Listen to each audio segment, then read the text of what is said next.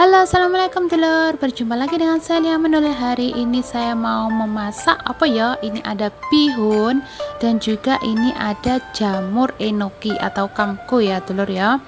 Nah ini saya mau steam ya nanti ya telur ya. Nah oke okay, pertama-tama saya ambil wadah dulu Untuk merendam iki bihune fungsine ya telur ya. Bisa pakai merek apa saja. Nah saya belinya ini yang uh, apa kilonan ngono ya telur ya nah taruh secukupnya di sini dan juga saya mau ambil air dulu. Airnya saya pakai air matang yang dingin dulu ya telur ini saya tambahkan separuh saya tambahkan saya tuangkan separuh dulu seperti ini.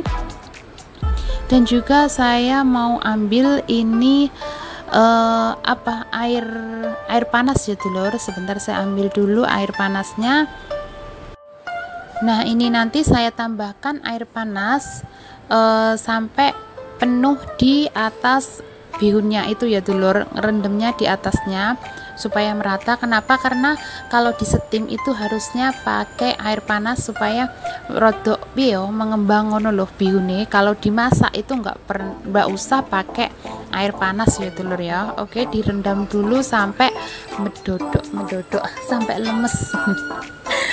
Oke dan juga setelah itu saya mau ambil ini jamurnya. Kalau di Hongkong ini namanya kamku ya telur ya. Jamur enoki nah iki terus saya mau iris diiris dhisik iku sing bonggole sing akare kan nggak mau tuh dibuang kan telur ya. Nah aku biasanya kalau mengiris begini jadi tidak jet teh kabeh nggak usah dibuka plastiknya langsung ditugel seperti ini. Nah ini sudah segini ya teman nah ini wis ndekne akare begini ini sangat hofompin ya lek uh, masak ngene iki nah oke okay, saya menggunakan dua. Dua jamur lalu saya ambil sauke dulu terus dicuci sampai bersih ya dicuci dhisik ya telur ya. Oke dan ini sudah saya cuci seperti ini ya telur ya. Nah ini uh, jangan sampai terlalu pendek ya ojo terlalu panjang anu niki mau bonggole.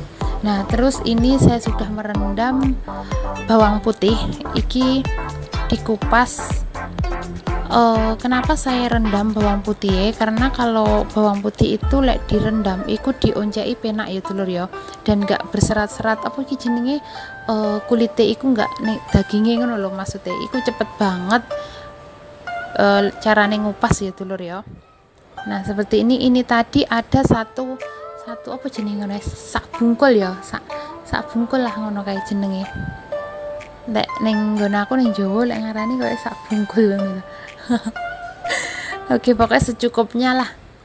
Nah iki setelah itu saya mau eh cincang tapi orang gawe campan orang gawe tuh ya. Orang gawe pisau gawe alat iki penak banget. Langsung digeret-geret ngono wis dadi engko cincangan ya dulur ya. Saya ambil tutup dhisik. Nah iki ditutup nih seperti ini lalu digeret-geret. Nah digeret-geret ini wis engko wis dadi cincangan gak usah ribet neng telenan terus di tutuk-tutuk ya dulu ya. Iki sangat pin menurut aku. Ini sangat membantu alat ini membantu banget uh, mengurangi waktu. Nah ini sudah jadi kan seperti ini. Nah gelis tau ini cepet banget ya wis ora geteh ora opo wis pokoknya carane penak banget.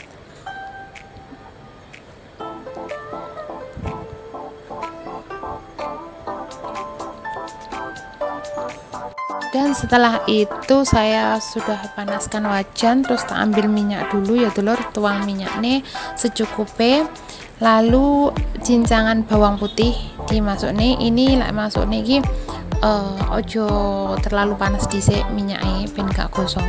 Jadi waktu nih bersamaan ya telur minyaknya sih lagi lagi si adem terus dimasuk nih bawang putih seperti ini.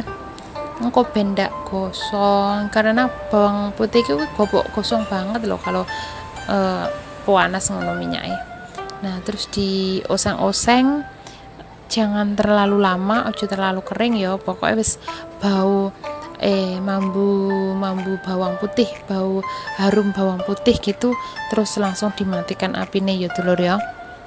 Seperti ini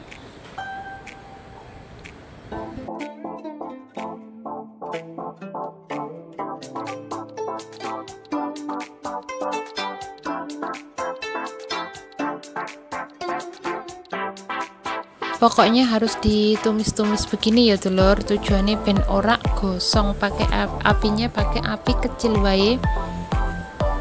Ben keluar aroma bawang putih ya dulur ya. Oke siap. Ini sudah matang. Tak matikan kompore. Saya mau ambil ini mangkok dulu. Sih bentar ya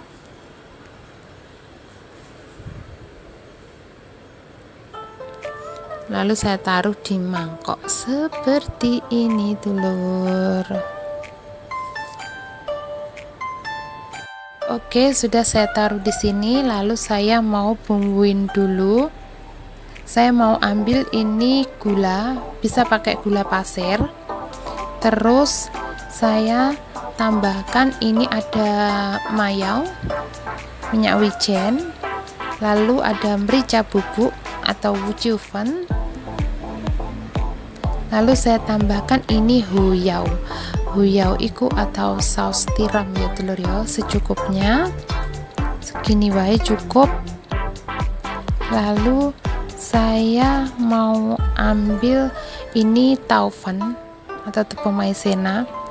Terus saya pakai eh, ini ya. Ini bawang sama uh, cabe yang ini mereknya yang ini lekumke yang uh, apa kuwi jenenge wis cong-congan ini ki ya telur saya pakai yang ini.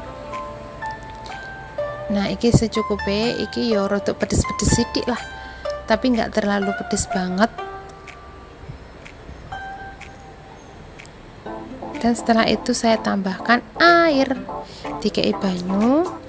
Terus saya tambahkan kecap asin dulu. Sedikit baik sedikit baik kecap asinnya ya telur ya dan setelah itu diaduk diulet-ulet sampai rata. Diaduk-aduk sampai rata. Nah seperti ini. Oke siap. Nah ini sudah capnya seperti ini ya telur ya. Iki enak banget. Nah, oke dulur, ini bihunnya sudah uh, mengembang seperti ini ya. Ini siap saya taruh di piring seperti ini. Bihune secukupnya ya dulur ya. Uh, bihune ter tergantung yang makan berapa. Ini nanti saya yang makan ada 8 orang jadi agak banyakan dikit ya dulur produk oke okay. nah seperti ini iki bingune tadi kalau sudah direndam air panas itu kan steamnya itu cepet ya dulu ya jadi uh, tetep tetep enak. Maksudnya bihune iki nggak terlalu kasar gitu.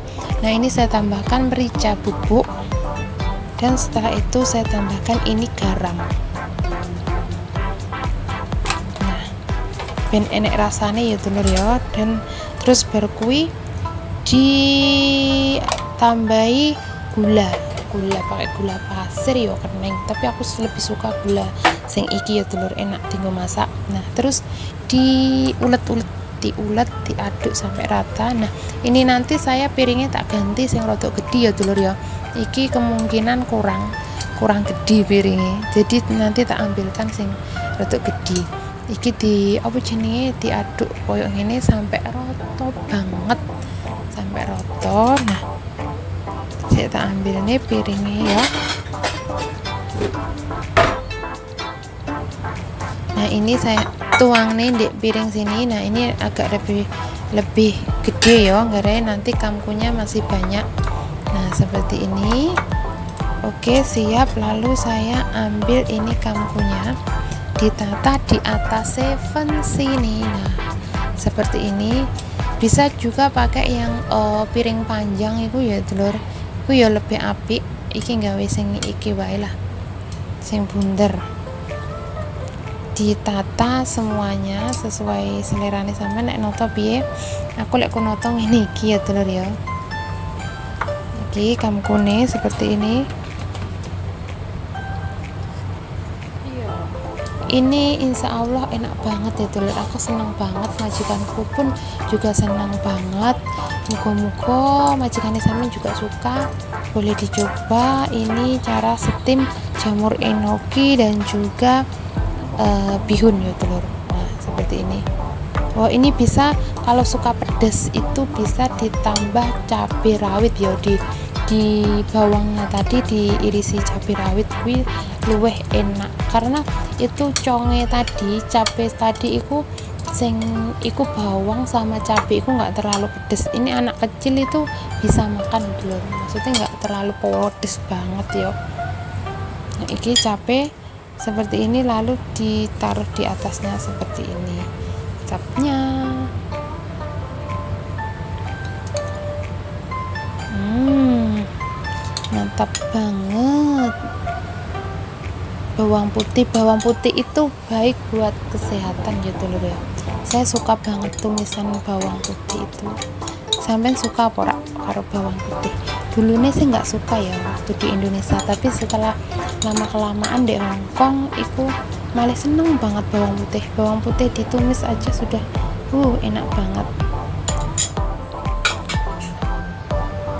Dan ini saya mau iris daun bawang ini buat nanti taburan atasnya ya dulur ben warnanya ayu terus di ambune enak juga dikasih daun bawang seperti ini ya diiris diiris-iris e, cilik-cilik ini ya dulur ini ben ambune sedep rasanya juga enak hmm, mantap hmm.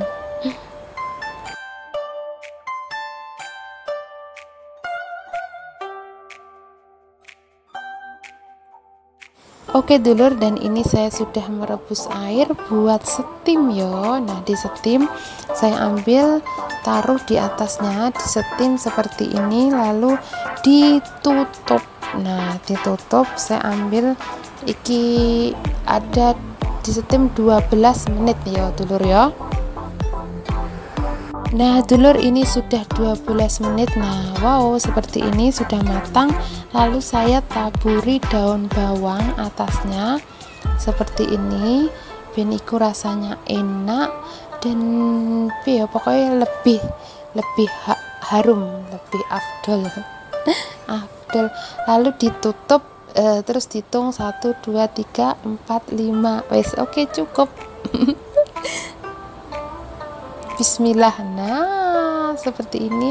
Wes matang ojo suwi-suwi daun bawangnya pokoknya di, di pokoknya dihitung 1 2 3 4 5 wes langsung dibuka ya dulur. Nah hasilnya seperti ini. Selamat mencoba dan semoga bermanfaat.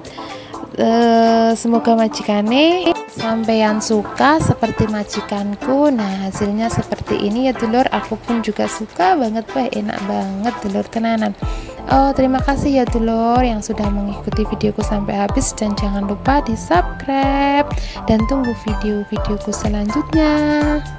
Terima kasih dulur. Wassalamualaikum warahmatullahi wabarakatuh.